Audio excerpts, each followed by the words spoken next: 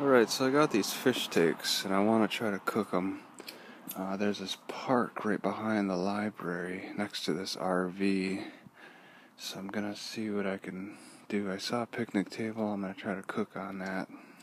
So this building is a library, and then there's this park behind it next to the highway. Alright. And it's early in the morning. It's a little chilly, not too many people are out. I want to try to cook, possibly right here out in the open. It's all legal and stuff, I just don't want to attract too much attention. I have these tongs that sit over here. I'm actually going to put them to use.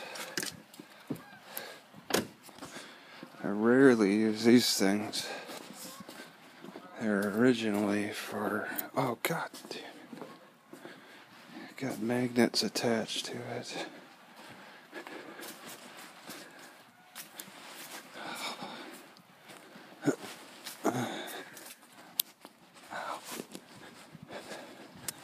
Okay, so it's just stepped away for a little bit. Now, oh, it's producing a lot of steam. Oh, it's already it's already going pretty hard. Yeah, all this cooking makes me think, you know, what what if all animals needed to cook to, to eat? There'd be fires everywhere. It'd be crazy.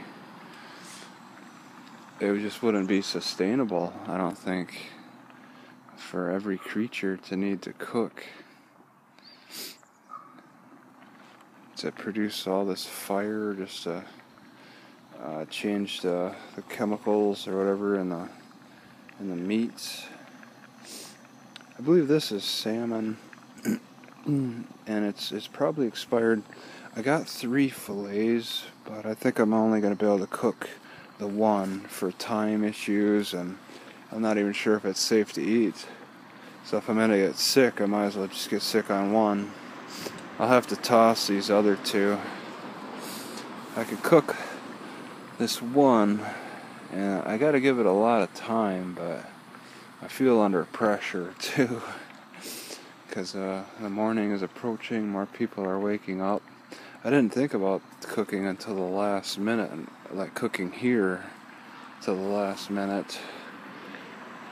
It's a it's a nice little spot. I just I don't I don't need people, you know, looking around and wondering why I'm here doing this. The last meat I cooked was like a, a elk or deer deer I think back in Wisconsin and that meat was rotten. I got sick off of it. So I have to be wary of this too. Alright, I cooked this cooked this fish for maybe ten minutes. I'm gonna eat it and I probably should wait an hour before posting in case I get sick. Alright, so it's been over an hour since I last ate that uh, fish, that salmon, and uh, yeah, I feel okay. I've eaten a couple things after that, like Oreos and yogurt. So, um, it was it was good. It uh, it just when the last food bank when I got meat, it was deer meat, and it felt mushy. But this this meat muscle seemed kind of firm. The salmon muscle is firm, so it's pretty good.